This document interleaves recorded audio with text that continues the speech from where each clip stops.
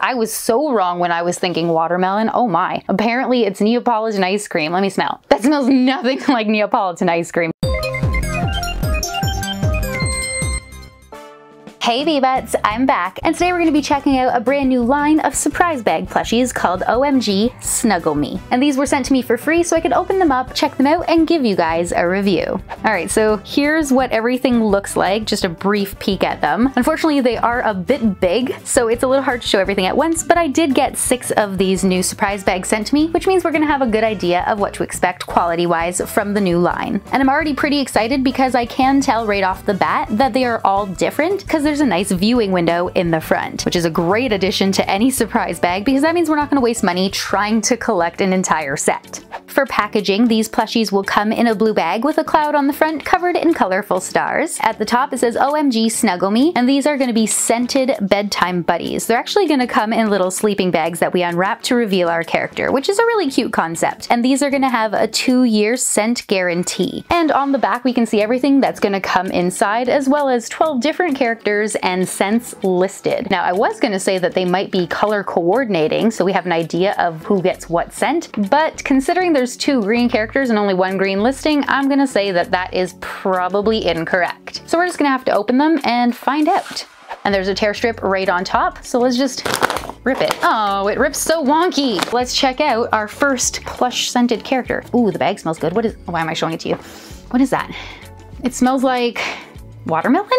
I don't know. I'm trying to guess before I look at the little checklist thing here, but I don't think I'm gonna get it because there's too many fruits in my head at the moment. So anyways, we'll focus on this. Our plush does come wrapped in its sleeping bag. We can only see the eyes, so we don't know what character it is yet, but this right here is super adorable on its own. It looks like a little baby peanut all swaddled up. The sleeping bag itself is a pink gingham. It looks like a picnic blanket type pattern, and it's covered in little sprinkles of pink, blue, yellow, and white. There's even a fake zipper down the front. And then it opens at the back with with some big chunky white pieces of Velcro. It seems like there are three of them, but I don't want to look yet. I'm going to quickly check out the checklist. I wonder if it matters what they're wrapped in or if they're all random. I don't know. But anyways, on this side we have a checklist that shows all 12 characters and they are so cute. There's even a little blurb about each one. So it looks like we've got Nina, Jubilee, Sprinkles, Bluebelle, Penny, Foster, Puddles, Simba, Razzie, Kit, Puffy, and Dozy. And at the bottom it shows that there are four different rarities. So specials are green, super rares are pink, mega rares are blue, and ultra rares are yellow, and there are three of each. But the good thing is, as I mentioned, you can see right through the packaging, which means if you know who you're after, you can pretty much guarantee who you get. And I think this is Nina just because the face reminds me of a Neapolitan ice cream, and it seems to match what I'm seeing here. Brown on one side, cream in the center, and pink on the opposite. And we'll find out if that's true once we open it. But first I just wanted to show you this side of the card. It has a super cute little birth certificate. Then underneath that it shows all the different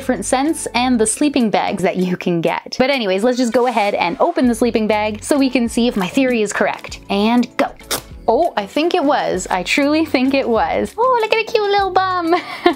so pull it out and Yep, I was right. So you can definitely use the eyes to determine who you're getting as long as you know what you're looking for. That's really good news because I think these are about $15 each on Amazon or on their website and that's gonna save you a lot of money, taking out the guesswork. And here is the cute little plushie. Oh, and there's even a little tag on top that tells you the flavor, so we don't even need to guess. I was so wrong when I was thinking watermelon. Oh my. Apparently it's Neapolitan ice cream. Let me smell. That smells nothing like Neapolitan ice cream, just so we know. But it does smell good. We'll just close that up. On the front of the tag it says smell me, which I've done incorrectly apparently. And then on the inside it says, hey there, I'm Nina. I love to invent new ice cream flavors with sprinkles. So here is the plush. It's got a pretty stiff body. If you've ever felt one of those fabric Lalaloopsies, it's similar to that. The bottom is definitely squishier than the top because it's much more firm in there. And I think there's beads or a scent pack, or maybe the beads are the scent pack because I can feel it in the back, but the rest of it is just a lot of batting. So Nina is a bunny with a waffle cone belly and dripping chocolate frosting. She's got alternating arms of brown and pink, which go opposite her feet. Her face is split into three colors of ice cream, so brown chocolate, cream vanilla, and pink strawberry. And then there's ice cream on top covered in pink and brown sprinkles. She's got two alternating ears of brown chocolate and pink strawberry, and her little bunny tail matches the whole Neapolitan look as well. When it comes to her stitching for her face, it actually looks really good. She's got one brown eye for the left and pink eye on the right, big eyelashes, and a cute little mouth with a tongue sticking out. There's even two little stitched on cheeks. Honestly, I'm not seeing anything wrong with this at all. I'm just thinking that the only problems you might have is if you aren't a fan of fragrance, then it might be a little overpowering, and if you like a really soft plushie, this might be a little uncomfortable to sleep on, but it will probably get squishier with time.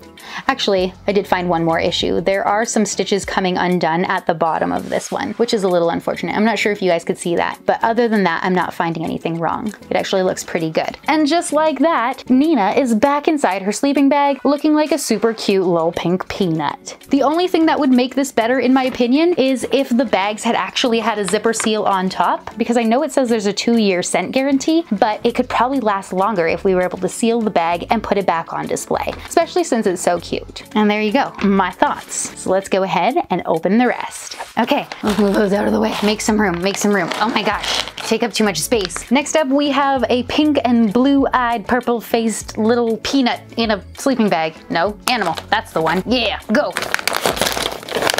and I can smell it already. It reminds me of a blueberry cheesecake, but that's probably wrong.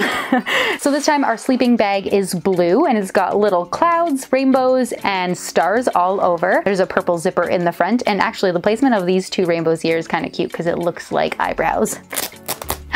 And it's Sprinkles. Oh my gosh, it's so cute. I don't know if it's a boy or a girl. I guess it doesn't really matter. You get to decide. Once again, the tag is not folded, so I'm gonna quickly do that. It says smell me, which I've already done. I really think smells like cheesecake. Nope, never mind. It smells like birthday cake apparently. That was my guess. It says, hi there, I'm Sprinkles. I love to party with Nina and adore cupcakes. And it definitely looks like it because this unicorn literally looks like a cake. So we've got some purple arms with little frosted hooves of white icing and sprinkles, blue legs with the same frosted hooves, and then a layered cake belly that's striped with pink, white, and blue, and then some scalloped icing layers with even more sprinkles. At the back, we have a striped tail of purple, white, and blue. Once again, more sprinkles. And on top of the head, you guessed it, more sprinkles and stripes. This time a very light blue with white and cute little ears. And the horn is blue, white, and pink. For the actual face, it's purple, once again with two colored eyes. The left is a blue and the right is a pink. And again, the stitching looks excellent. Actually, if you take away those eyes, the mouth looks like a super cute little face on its own.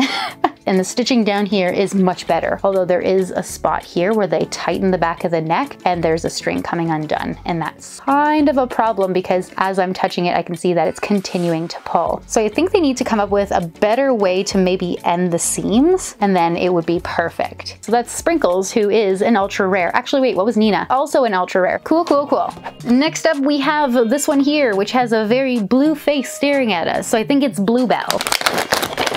Ooh, it smells super blueberry. I'm gonna go with, yeah, it's Bluebelle. The card for everyone is the exact same. That's why I'm not showing it anymore. But the sleeping bag is different. This time it's all purple, covered in little animals. There's cute little cats, which are orange, green little puppies, pink little bunnies, and blue little bears, which matches the zipper going down the front. Ooh, such vibrant colors. And there we go, Bluebelle. Oh, it's not a bunny. The ears flopped down. It's a dog. And I think it's actually like a blueberry pie or something because the bottom is brown and the belly looks like it's filled with jelly. That rhymed unintentionally. Awesome. so here is Bluebelle. It definitely smells like blueberry, so I think I'm right this time. And yes, I am. It's blueberry pie, but that counts because I said it looked like a pie. So I'm gonna call that a win. Says, good day, I'm Bluebelle. I love to sing and dance with Razzie, but I'm very shy. Aww. On the bottom, we have pie crust essentially, so it's a nice light brown with cute little white paws. The upper portion of his belly is blue and purple, looks like jelly. The arms are blue with white little paws, and the face is a dark blue with one light blue area around the left eye and a white muzzle. Then on top of the head, we've got some spilled purple jelly over the blue ears. And once again, the stitching on the eyes looks really good, but unfortunately I already saw that the ears are coming undone because they're currently stitched down. But to be honest, I'm just gonna snip these away anyways because I like the look of a floppy-eared puppy. It makes it have more movement, just like the tail in the back. And now that I'm here, I'm just gonna quickly check the neck. It looks good, and the bottom looks good. There you go. That's Bluebelle. And in terms of rarity, it is special, which is probably equivalent to common. I'm gonna stop guessing who they are now because I kinda wanna keep that element of fun, which means I'm just gonna move on to the next. Oh, that smells good. Wait, what? It smells kind of like a carrot. I'm so confused. so this time the sleeping bag is a plaid pattern of various blues, pink, purple, and yellow with a purple zipper in the front. I can already see that we've got some pink eyes and an orangey brown face, but that's all I can tell because I put the checklist to the side. So let's open at the back. Ooh, it's Foster.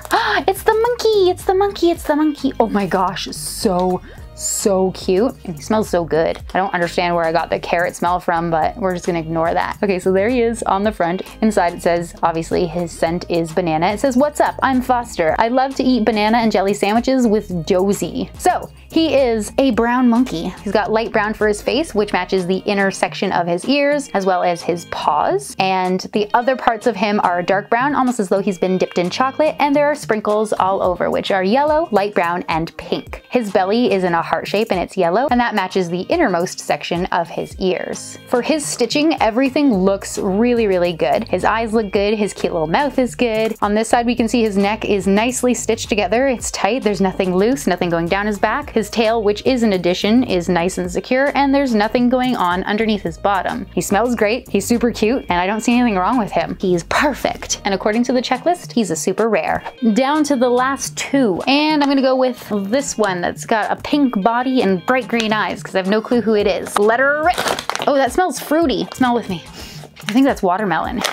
I'm not really sure. But anyways, our sleeping bag is a dark blue with tons of zigzags all over in bright yellow, orange, pink, and blue. And then there's layers of zigzaggy polka dots. It sounds as confusing as I'm making it because who's making the video? Me. It all makes sense. Down the front, we have a blue zipper. And then if we turn to the back and open, we find our plushie.